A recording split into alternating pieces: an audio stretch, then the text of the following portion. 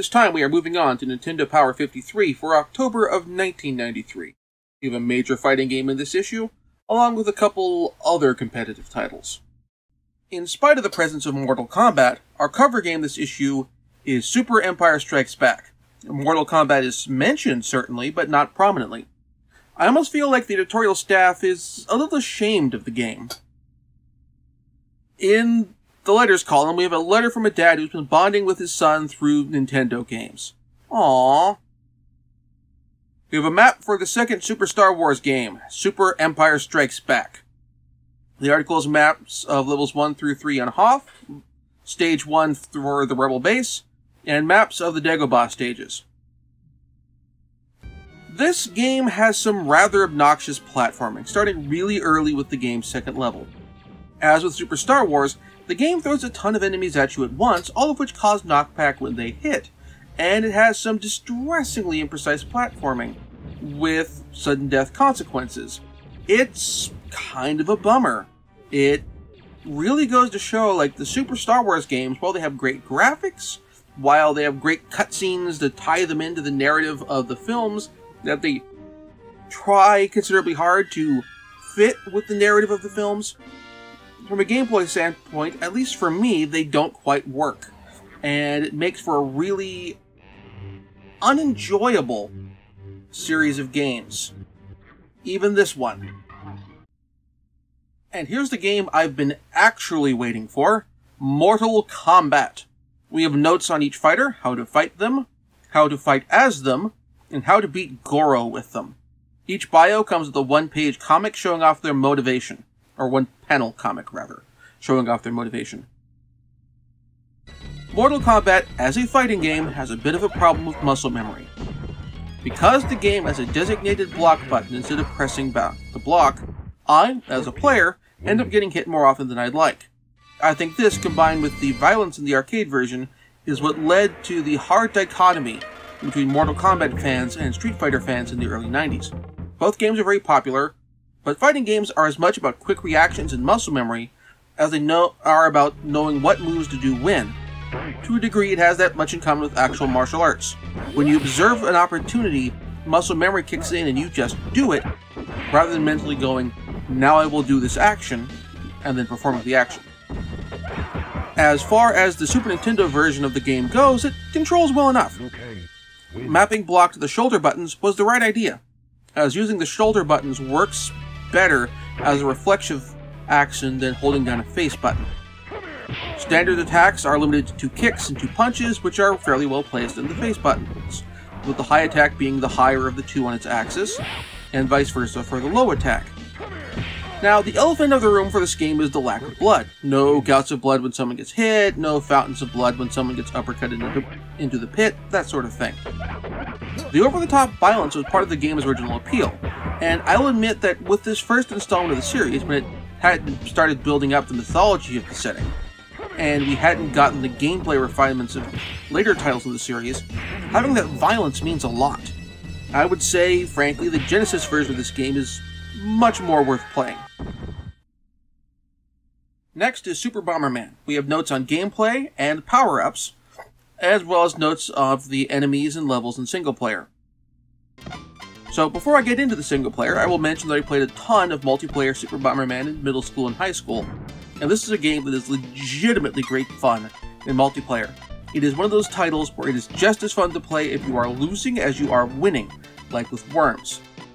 Now, as far as the single player goes, the single player version is more of a action puzzle game with Bomberman clearing paths through the environment in order to find the exit, and then destroying all the enemies to open the exit.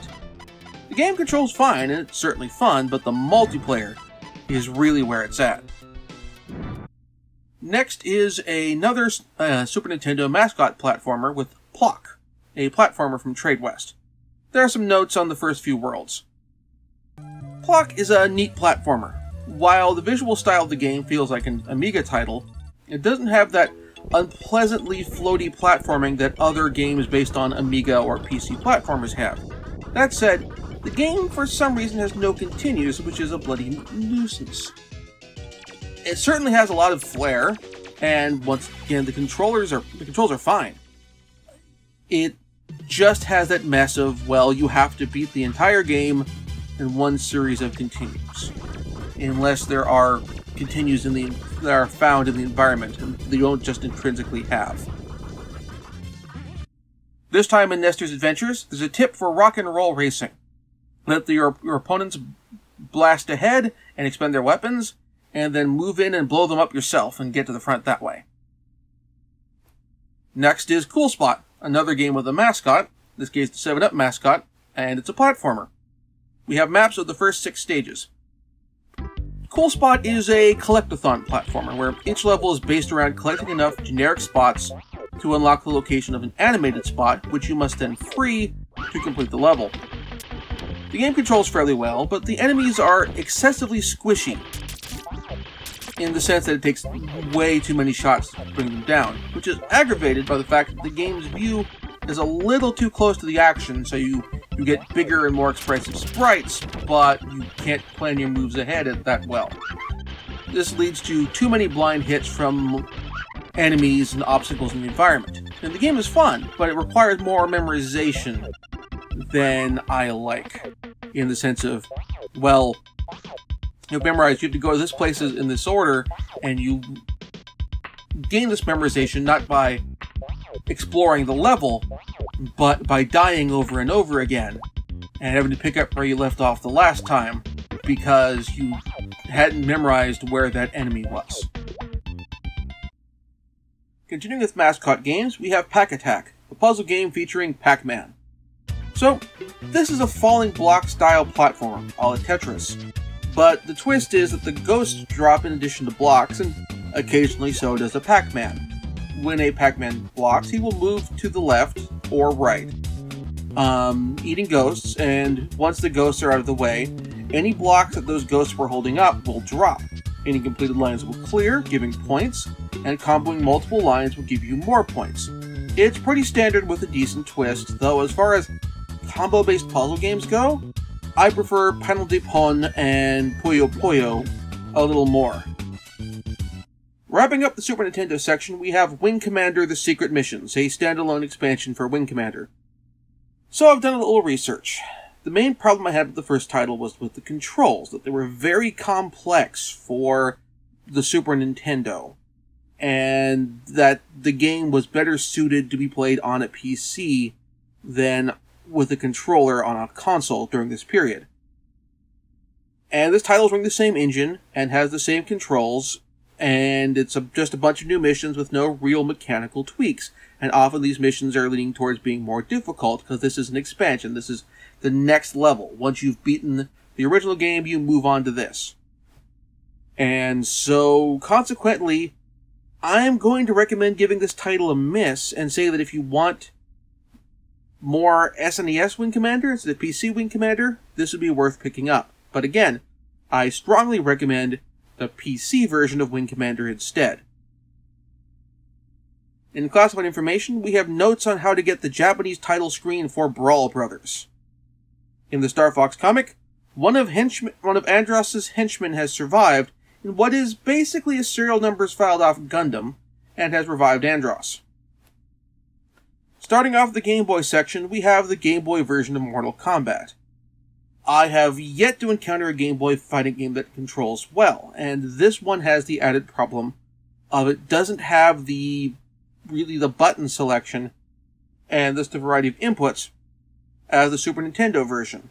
Your block button is mapped to select instead of to a shoulder button or something similar. So to block, you have to move your thumb off of the D-pad, which I find to be a no-no. Um, so I am skipping this game and just giving a stock recommendation to that you skip it as well. Next is Sports Illustrated Football and Baseball. You heard me right. Two sports in one title. I have no idea how this will do both justice.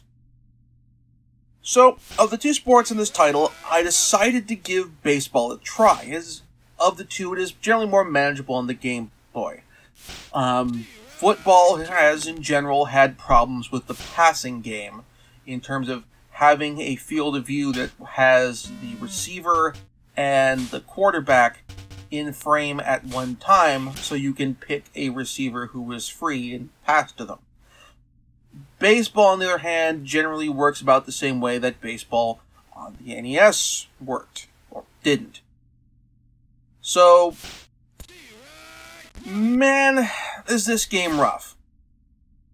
This is the first baseball game that I have played that has had multiple fielding errors by the AI in the game. And this is like, not just like minor errors, this is like errors of sufficient issue that it shows up on the scoreboard errors.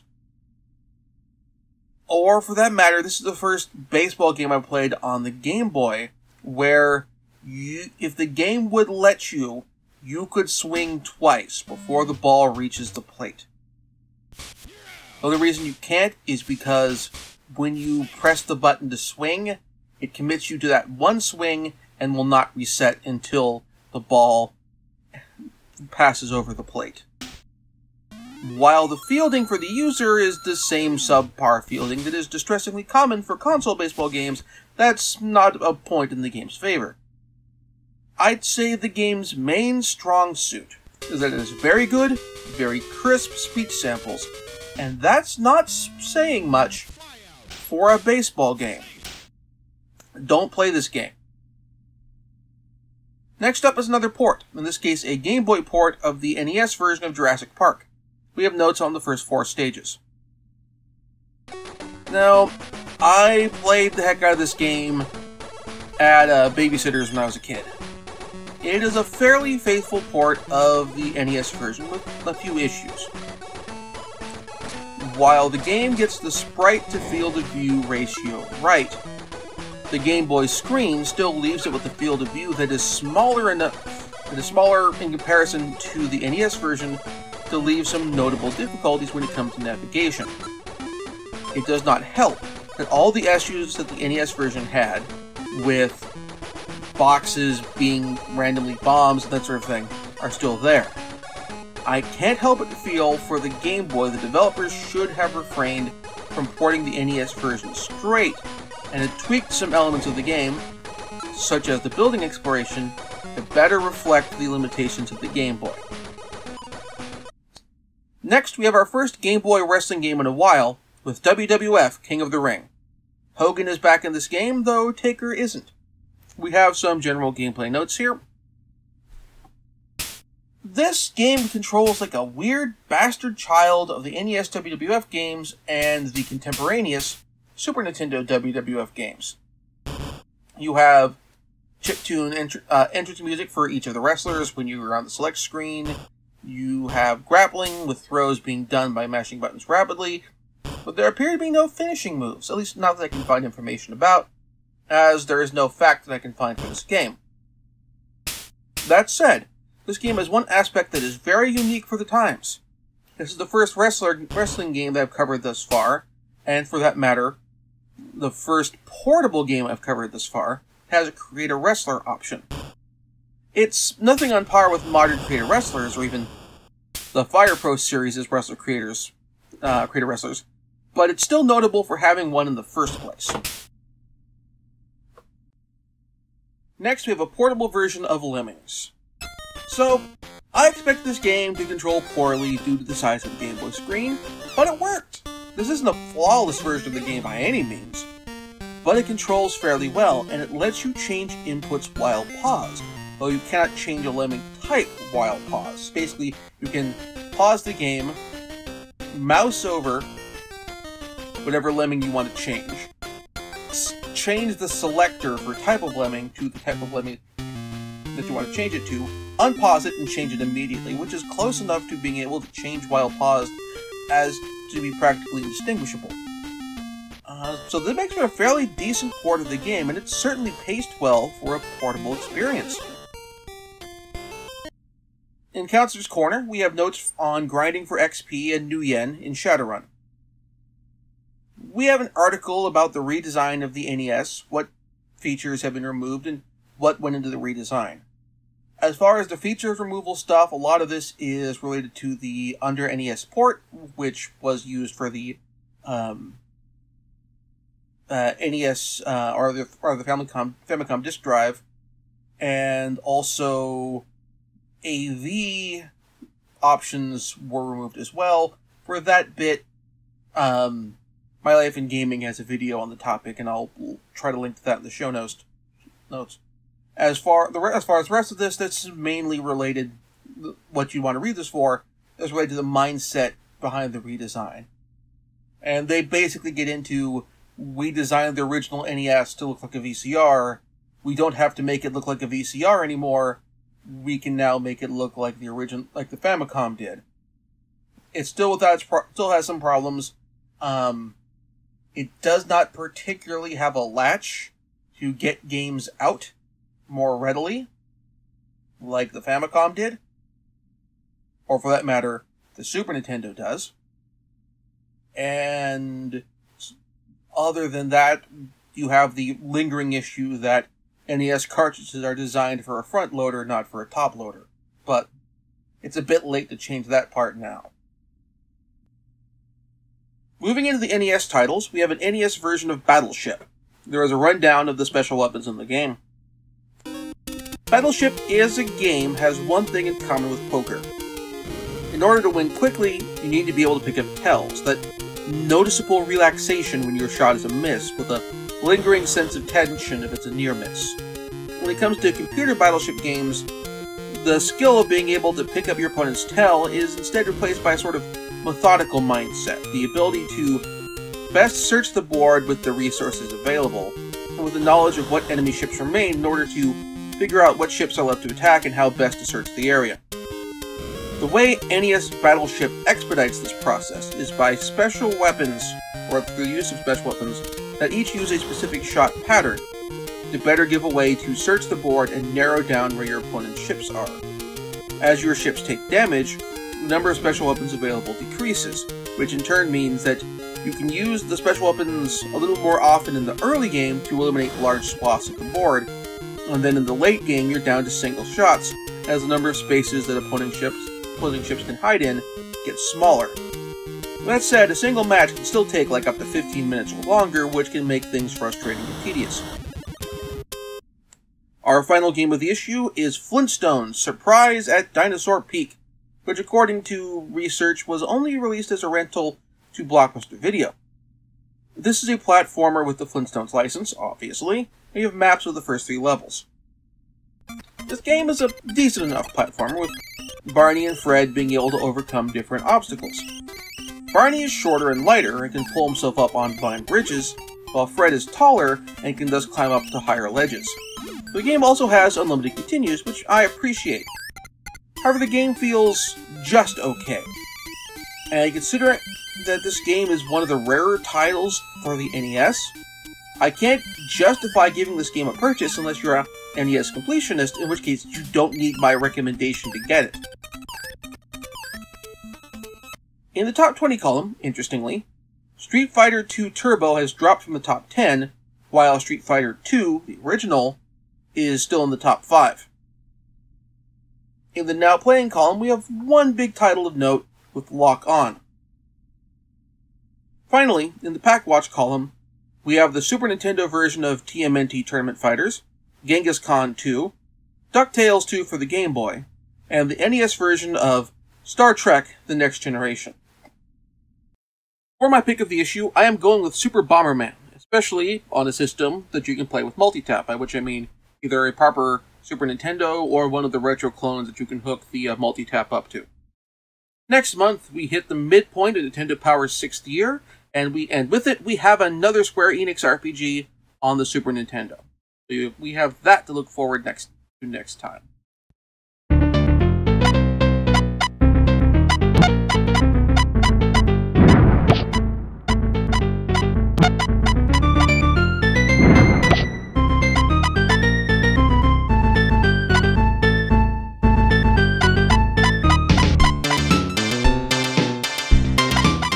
You very much for watching. If you enjoyed the show, please like this video and subscribe to the channel to be notified when new videos come out. If there's something in particular you'd like to see me cover, or just want to get your name in the credits or otherwise help the show, please support my Patreon. Once again, thank you very much for watching, and see you next time.